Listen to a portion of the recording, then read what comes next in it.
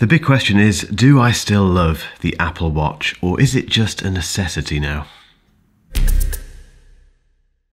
Okay, so I've been using the Apple Watch Series 10 for about two months now, apart from occasionally at the weekend where I use the Huawei Watch Ultimate, which is prettier and has a better battery and a few other things. But I think this means that I am now back in the land of being an Apple Watch user just one who occasionally slips off at the weekend to do something naughty. And this has left me in a bit of a quandary about my opinion of the Apple Watch. Just to confirm, I am a massive Apple Watch fan. I've, I bought the first one in 2015, and every year since then, I've worn it on my wrist, apart from most of this year where I've flirted with Android watches and Garmin watches. The problem is that the Apple Watch hasn't really changed since 2015. And before you hit the comments and call me an idiot for being you know, way over the top about this. It hasn't. It's you know it's still ostensibly the same product. It's the Apple Watch. Okay, the hardware has been iterated over time. Watch OS has had lots of stuff added to it. It's been refined. The whole package has been turned into a very good fitness watch. But a bit like the iPad, the Mac, the iPhone, the Apple TV. It's just what Apple does. The question is, does that make this something that I love, or is, is it just a necessity? So in this updated review of the Apple Watch Series 10, I'm going to go through what I love about it, what I don't love about it, whether you should buy it, and what this is all about.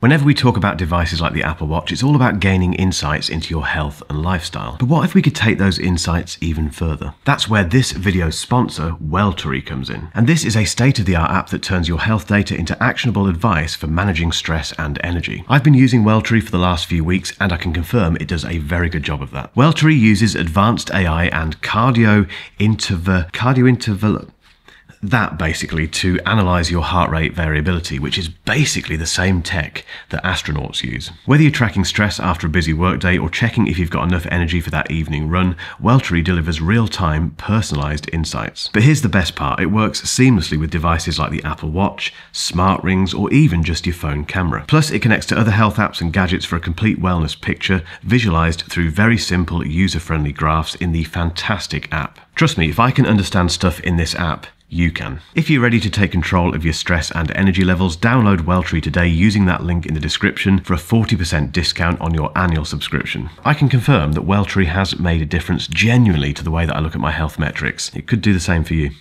Let's start with the positive stuff. What do I love about the Apple Watch Series 10? The first thing is that it just works. And this is a kind of unofficial slogan for Apple. If you're an Apple person, you have definitely used that phrase. It just works. Whether or not it's your iPhone, your MacBook, your Apple TV, whatever it is, it just works compared to the competition. And I think the Apple Watch is the ultimate example of that, particularly in Series 10 form because it's just the best version of this watch. It's you know, it's got the best chip in it. It it's so refined. It never does anything weird. It never crashes. Have you ever had your Apple Watch crash? Let's say within the last couple of years. I, I had a few issues with older versions, but the Series 10, it just it just works. Next up, we have that display, which is bigger, brighter, and utterly lovely. And we now have this incredibly thin frame, which works for a square watch. I think if a watch has to be square, which isn't my favourite form factor, but if it has to be square, it has to sit very flush against your wrist, and the Series 10 does. The next thing that I love about this watch is ecosystem related, and it's the fact that I can use it to log into my Mac and authenticate things on Mac OS. It saves loads of time. For instance, if I want to log into my M4 Mac Mini over there, I just walk up to it, press the spacebar, and this unlocks it. And then if I need to install software or do something on there which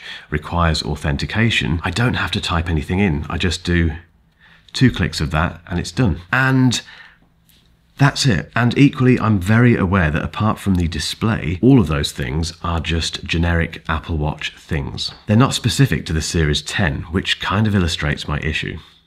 Okay, time for the negative things about the Apple Watch Series 10. I'm not about to pull it apart because this is a fantastic wearable, but there are three things that I don't really like about it. The first thing is that it just works. And yes, that was the first thing on my list of things that I love about the Apple Watch Series 10, but the reason it makes this list is because it's just a bit dull. I just can't really get excited about the Apple Watch anymore. I used to, you know, from 2015, obviously when it was first introduced, up to the first Apple Watch Ultra, I was genuinely excited and you know, just uh, there was a lot of anticipation about what it would do next. You know, what what would Apple do next with the Apple Watch? And I think we know the answer to that now, which is is basically make the display bigger, make it brighter, make it thinner, that's it. Second on my list is the battery life, and I know I got a bit of stick for this in my first review of the Series 10, but I don't care. It just really annoys me. I don't understand why a watch like the Huawei Watch Ultimate can last many, many days versus this, which can last maximum two days. And yes, the Series 10 does charge very quickly, which is the saving grace, but I just feel like I'm charging it all the time. Please, if someone can explain in the comments why other watches last for days and days and days, and this one doesn't, and they both do the exact same stuff. If you can explain that,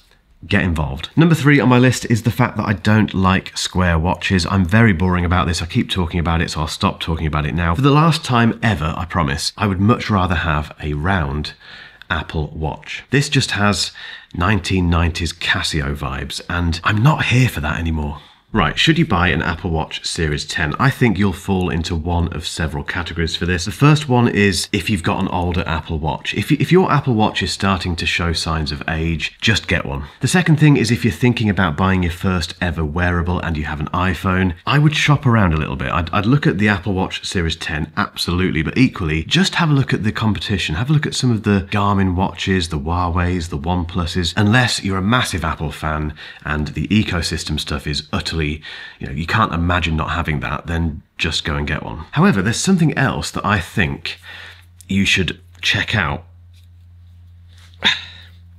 Hang on.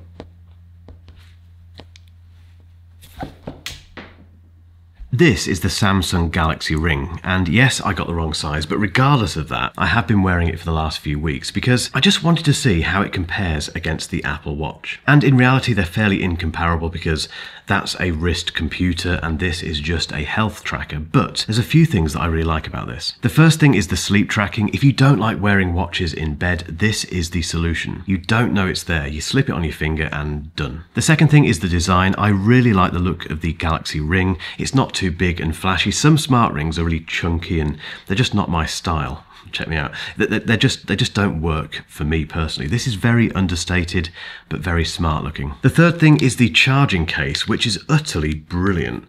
You basically put your ring in there and it gives you an indication of how much battery is remaining.